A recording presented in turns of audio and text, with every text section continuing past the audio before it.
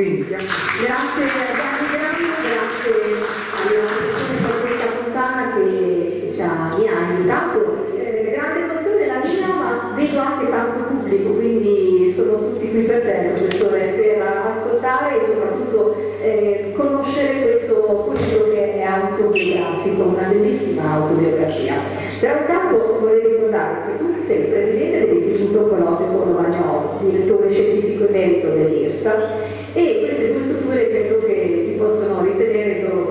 io non li faccio, perché insomma sei un po' il pigmalione di quello che è tutta la ricerca e tutta la costruzione dietro la ricerca di questo che secondo me è stata una delle concezioni più belle e più innovative che poteva avere una persona, una sola, e ce l'abbiamo qua davanti. Capo, ben arrivato professor professor Dino Amadori, il signora quindi questa sera eh, saranno il tema, tema, centrale della serata, diceva prima Grandu eh, che sono presenti anche i referenti della, dell'Iora Cesese, c'è anche ho visto Antonio Milani tra gli altri, i volontari che sono presenti col libro del professore che qui ha dato l'esposizione, un libro che vorrei sottolineare subito, il ricavato viene tutto destinato allo IORA, quindi il professore come sempre non si smentisce, continua. Passiamo la parola al professore, allora intanto presentare. Grazie, innanzitutto io conosco molti in particolare conosco una persona che vuole molto bene, ed è Marinella Maroni. Oh, collaborato, collaborato con noi nell'oncologia primordiale, quella che abbiamo fondato nel 1977, che, che fu eh, completata con regenza nel 1980 circa. Sono anni molto, molto lontani nel tempo, però nasce lì un po' la storia, la storia della perché questo è il quarantesimo anno da che è stato fondato Rio, è stato fondato nel 1979. Però l'istituzione IOR credo che possa, possa essere considerata una istituzione che durerà nel tempo. Durerà nel tempo perché l'Unione ha lavorato sempre esclusivamente cercando di dare risposte positive e risolutive. Non abbiamo mai avuto altre, altri obiettivi se non quello di fare il bene dei nostri Anche quando parlo degli anni 60-80, in pratica la Romagna era sprovvista di vere e proprie che senza la ricerca rendiamoci che conto si va indietro non si sta fermi. Senza la ricerca si va indietro, perché gli altri vanno avanti velocemente, ma anche perché senza ricerca non si è bravi nemmeno a curare quanto l'oncologia è una scienza, una disciplina che ancora vede circa 70% sperimentale. Quindi se non fai ricerca non sperimenti, se non sperimenti non diventi per questa ragione ho fondato io. Nel 1979, quando la riforma Mariotti della sanità prevedeva per gli ospedali solo compiti di assistenza e cura, escludendoli totalmente dalla ricerca clinica, personalmente pensai che questa sarebbe stata la fine della qualità assistenziale terapeutica negli ospedali italiani. E reagì in che modo? Cercando di avere uno strumento che permettesse di avere su tutta la Romagna i mezzi, le risorse per poter ricerca. Questo strumento, insieme all'avvocato Lombardo, lo abbiamo chiamato IOR, Istituto Oncologico Romagnolo, non forlivese, Noi l'area Rasta l'abbiamo fatta 40 anni fa. Anche, anche grazie all'esempio che danno i volontari dello IO, che spendono parte del loro tempo, che è un capitale che abbiamo che nessuno ci aumenta, ma ci cala tutti i giorni, eppure ne date un pezzo a qualcun altro, questi sono esempi che dovrebbero far capire a tutti che nella sanità bisogna rispondere a dei bisogni. E quindi, fondando lo io, io avvocato Lombardo, per avere queste possibilità, chiamiamo l'Istituto Ecologico Romagnolo una cooperativa per la lotta fortissimo, fare ricerca nonostante la legge Mariotti. Ha creato la struttura per fare questa ricerca al più alto livello italiano ed europeo e lo IOR ha mantenuto tutta la sua forza di popolo lo ione è un popolo fatto da volontari e anche da chi aderisce senza essere volontario, che, che ha fatto una crescita, questo popolo ha fatto una crescita incredibile dal punto di vista della cultura sanitaria e dal punto di vista soprattutto della solidarietà. Per cui quando si nomina lo ione, lo si nomina con grande rispetto, con grandissimo rispetto. E e la colonna portante dello IOR sono i volontari. Senza di loro lo IOR non esisterebbe. Io vorrei che questa causa non venisse ma andasse a una persona che è morta poco tempo fa, pochissimo, la Graziella Solaroni, che ha fondato il volontariato dello IOR, che ha superato cinque tumori diversi. Soprattutto anche una grande responsabilità, quella della solidarietà e della beneficenza. Senza i volontari non si potrebbe raccogliere i fondi che vengono raccolti e non si potrebbe fare ulteriori ricerche e avere ulteriori fondi. Quindi diciamolo pure, IOR è veramente fortemente legato non solo alla sua grande professionalità ma anche a coloro che veramente donano parte del loro tempo, come diceva lei prima. Vorrei sottolineare anche questo. E vorrei dare una definizione del volontariato che non può essere concepito come un surrogato di qualcosa. Volontariato non è quello che deve fare l'iniezione perché manca l'infermiera. Sarebbe un disastro. Se i volontari dovessero fare cose che competono a professionalità diverse, saremmo alla frutta veramente. Il volontario porta dentro qualcos'altro, dentro il sistema. Porta il valore della solidarietà. Lo cito sempre a Voglio quando ha detto un giorno che questa società è un male gravissimo, una malattia molto grave, che è l'indifferenza. E se tu togli dalla vita umana l'interrelazione con gli altri, sei morto, perché non hai vita vera, che la vita è relazione. Quindi il volontario che porta dentro questa eh, civiltà malata una, una, una, la, la, terapia, che se, se l'indifferenza è una malattia, quali sono i sintomi? Quelli che vediamo tutti i giorni, il disinteresse, la competizione, la, il conflitto. Cos'è che invece, qual è la cura di questa malattia? È il contrario della solidarietà. Quindi il volontario è colui che eh, col, col, suo esempio solidaristico guarisce questa società, non è mica poco. Noi abbiamo la fortuna in Emilia Romagna di tante, ma lo io ha la fortuna di averne più di tutti. Questo è il bello del nostro istituto.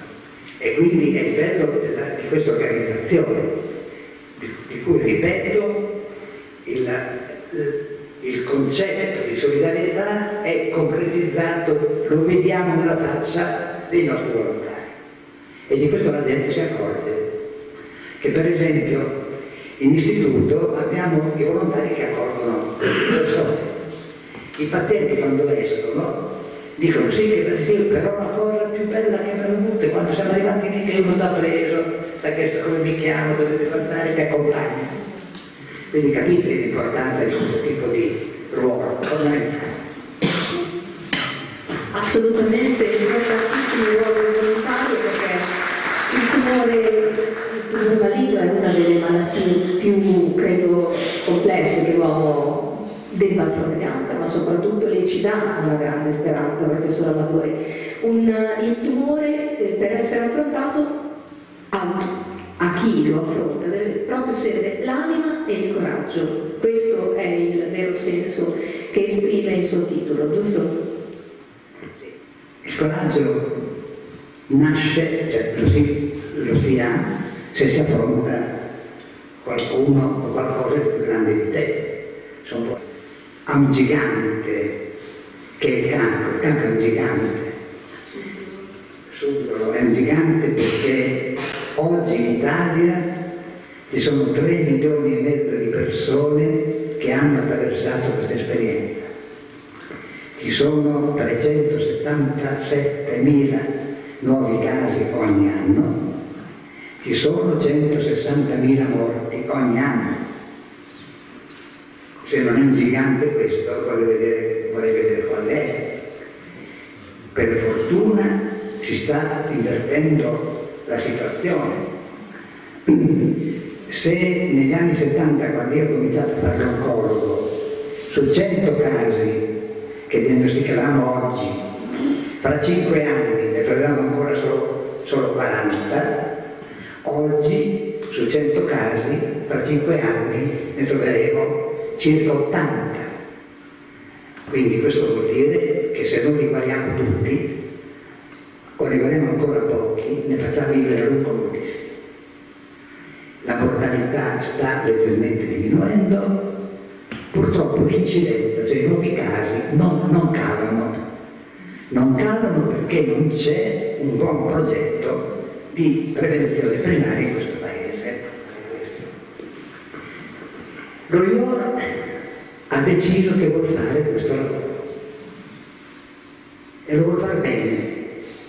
E vi posso annunciare che in aprile inaugureremo a San Cristoforo la, la casa della prevenzione. È una scuola di circa 900 metri quadri, più un terreno, lo IOR ristruttura, ha già, ha già fatto i bandi, ci sono già le ditte che lavorano, la rende idonea a fare alcune cose complementari. Faremo cucina didattica per insegnare quali cibi e come cuocerli per prevenire il cancro. Faremo una palestra dove insegniamo quali sono gli esercizi fisici importanti come si deve e quanto tempo si deve dedicare al giorno per fare attività fisica preventiva.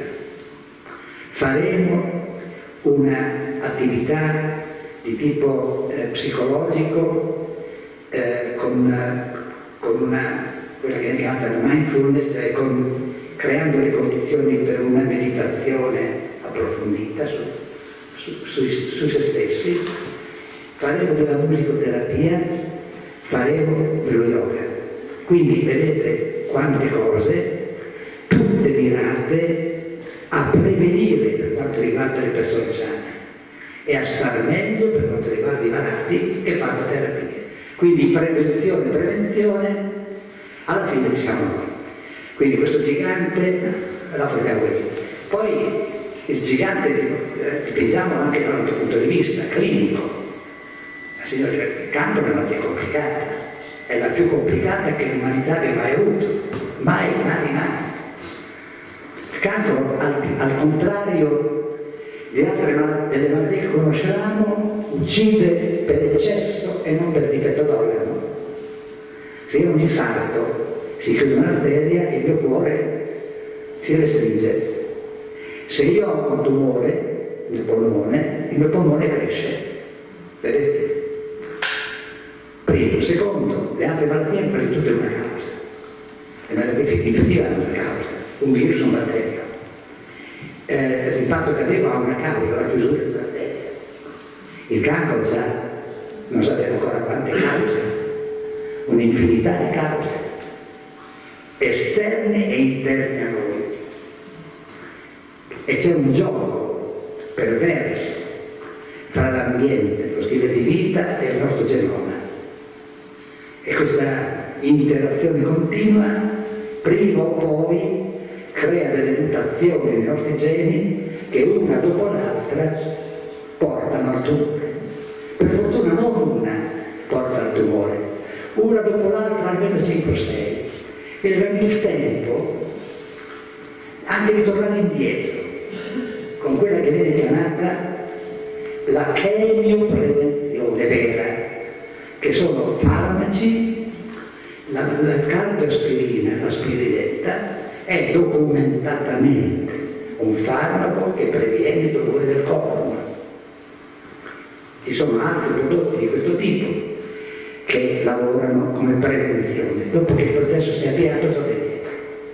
Quindi un gigante dal punto di vista clinico, un gigante dal punto di vista psicologico parlare con un paziente affetto da cancro non è come parlare con un paziente ortopedico che braccio rotto.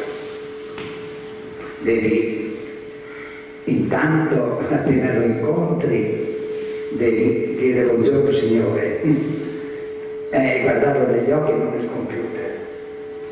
E si accomodi come fosse in casa tua, non mi, non mi qui. E poi ascolti lo sapete qual è il tempo medio di ascolto di un medico che riceve un paziente del suo operatorio? Provate a dire. Quanti? Voi? Voi? E quanto tempo lo ascolta se ti interrompono, eh? 18 secondi. Uno apre bocca, comincia, a parlare a un certo diciamo aspetta è così. Appunto. È compiendo un errore clinico perché il 70% della diagnosi si fa con l'analisi con l'ascolto di quello che dice il paziente anche se ti sembra che dica delle cagate. Perché quello che dice il paziente è sacro. Lo sente lui, dice lui se non lo ascolti non te lo dice, se non te lo dice sbagli la diagnosi. Quindi e poi, questo per quanto riguarda la prostata, poi la conduzione del paziente. Eh, insomma, bisogna che un medico che vuole fare il suo lavoro, nel momento in cui il suo paziente si siede davanti a lui, deve subito dire una cosa, io faccio così. Guardi, lei è lì davanti a me, però è come se io fossi vicino a lei invece, perché io non sono un giudice che giudica, che dà una sentenza su quello che è lei, io sono uno che l'accompagna nel percorso che seguirà a questo tipo di problematica. E allora, se si fa così, se, ripeto, si guarda negli occhi e non il medico si mette a, a smanettare nel computer, io il computer non lo so usare, ma non l'ho mai voluto usare e non ce l'ho. Perché molti pazienti si lamentano del fatto che il medico non guarda neanche negli occhi. Allora fai l'empatia, si chiama così. Cioè diventi un alleato che vive la stessa esperienza del, del, del paziente e riesce anche a dare risposta a quello che chiede. La verità gliela diciamo o non gliela diciamo? Secondo voi, per dirla o no? Sì. Come dirla, lo sapete come modo migliore? Faccio un esempio. Arriva uno da me e io gli dico, come fanno in America, ah tu hai il campo del polmone, sei mesi di vita, organizza la tua vita perché non ci sarai più. Testuale. Se invece guardi, c'è un problema, eh, ci sono come cellule sperate, è neoplasia, però si ricordi che ci sono i mezzi per curare. E si dice la è la stessa verità di prima. Se queste terapie funzionano, avremo questo risultato. Se non funziona la prima che vediamo ce n'è una seconda. Non sono bugie, è vero. E allora è tutto un altro mondo, perché il paziente sa che cosa la sentenza in tasca, anche perché sono sbagliate nell'80% dei casi. Poi il paziente non ti fa le stesse domande durante tutto il percorso della sua malattia. All'inizio ti chiede se può guarire. Quando comincia a vivere i momenti invece della malattia che progredisce, non ti chiede più se potrà guarire. Potrò vivere di più? È già diverso. Potrò vedere il matrimonio di mia figlia che si sposa tra tre mesi? Se si dice subito sì. E quando è più alla fine, non ti chiede più neanche queste cose, ti chiede, mi fa, riesce a farmi dormire stanotte, dottore? Eh? Riesce a venire questo dolore? Eh, posso respirare meglio? Capite? Quindi è tutta verità che se viene comunicata va bene, se viene detta è sbagliato. Questo è il punto di vista.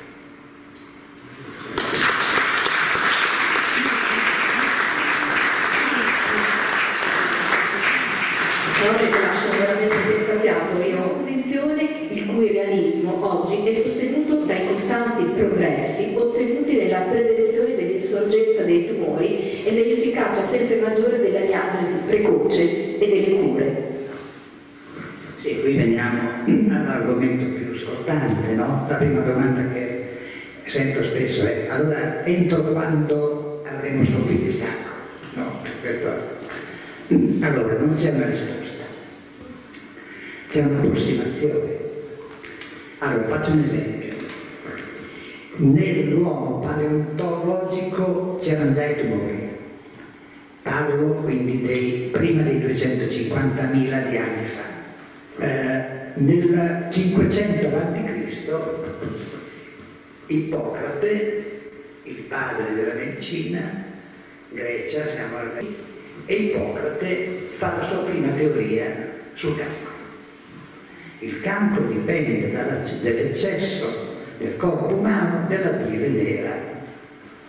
Quindi la cura è far vomitare il paziente, mandarlo in diarrea, fargli dei salassi per portare via sta bile nera. Solo nel 1800 qualcosa Virchow, grazie al microscopio, comincia a capire che il cancro nasce nella cellula. Sono passati, vogliamo dire, 300.000 anni dal primo tumore riscontrato nell'uomo ad oggi senza nessun progresso nella lotta contro i tumori. Nessun progresso. Le prime terapie efficaci nel cancro risalgono al 1950.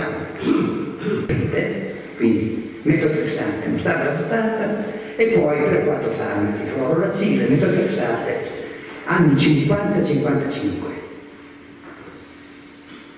Per avere un farmaco nuovo quei tempi passavano dai 2-3 anni. Oggi, oggi, non si contano neanche più quantissimi farmaci. E fra un farmaco vecchio e un farmaco nuovo per quel tumore non passa mai più di sei mesi. Allora, ho detto che io non lo so quando il tumore sarà sconfitto, però io dico che se in un 60-70 anni si è passati da quei 40 che sopravvivevano a 5 anni dalla diagnosi agli 80 di adesso. Se la sopravvivenza fa sì che è talmente lunga spesso che si accumulano questi casi, che siamo 3, sono 3 milioni e mezzo oggi. Se, se tumori di, di minore impatto numerico ma di importanza clinica guariscono come i linfomi, le leucemie, sempre di più tumori del testicolo, Ecco, io mi immagino che nei prossimi eh, tre, eh, 80 anni, insomma, gli abbiamo dato una bella scopola al cancro. Perché se così non fosse vuol dire che siamo veramente poco intelligenti. Se in così poco tempo è stato fatto un progresso enorme, sicuramente alla fine di questo secolo i morti di cancro saranno molti di meno di quelli che sono adesso, anzi molto, molto, molti di meno. molto impegnato anche in Africa e anzi esortiamo anche il pubblico presente a informarsi su quello che voi state facendo di importante in Africa. Io ricordo una conferenza stampa dove lei ci fece innamorare tutti del suo progetto, che continua sempre molto in maniera molto delicata, molto in sordina, però il professore è anche su questo fronte, perché oltre a essere un ricercatore è sul fronte dell'assistenza, è sul fronte della solidarietà e poi guarda anche agli altri, non solo chi magari forse si può avere e può concedere uno York o uno IRST perché ce l'ha qui in zona. Beh, questo è un capitolo per me più caro, perché allora, siccome non avevo niente da fare verso il 2000, ho detto no, facciamo qualcosa di più di quello che aveva fatto finora. E eh, pochi anni prima, nel 95, era morto un mio, il mio più caro amico, che era uno di coloro che nel luglio del, del 79 venne con me a fondare lo IOR ed era il patologo prima di Faenza, poi di Cesena. Lui è morto di un melanoma di cui si era nato a 18 anni, aveva avuto due o tre recidive, l'ultima purtroppo è stata fatale. Lui aveva cominciato a fare in Africa del volontariato, era andato una, nella, nella, zona del, dei laghi, del lago Vittoria, in un paese vicino dove abbiamo, dove abbiamo operato noi, e aveva fatto un, un, un ambiente per dare alle donne africane la possibilità di partorire in un ambiente igienico. Muore Vittorio, muore e muore purtroppo nel mio reparto perché era un tumore. E aveva un bellissimo album di, di, fotografie che sfogliavo tutti i giorni. In mia presenza e quando eh, ci ha lasciato io avevo ben capito cosa voleva dire questo sfogliare l'album davanti a me e a chi lo seguiva e decisi di continuare la sua opera. E cosa feci? Fondai un'associazione che si chiama Vittorio Piso, si chiama come lui, con sottotitolo Cultura e solidarietà, perché la cultura è fondamentale, la solidarietà la può dare anche il più incolto delle persone, anzi, però se la dà la persona colta è ancora meglio, perché la può riempire di contenuti più alti, no? più complicati. E allora, avendo fatto questo tipo di, decisione, riuscì a raccogliere i fondi sufficienti per realizzare nell'ospedale Bugando di Muanza, città oggi di 2 milioni di abitanti, allora di poche centinaia di migliaia, eh, un laboratorio di anatomia patologica che quell'ospedale non aveva. Questo laboratorio si chiama Vittorio Gesù.